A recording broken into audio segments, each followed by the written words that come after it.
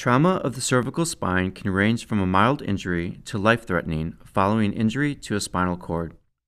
An impact to the spine can cause a vertebral fracture,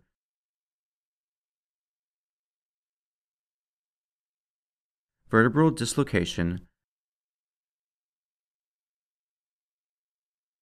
ligament damage, or spine compression damage.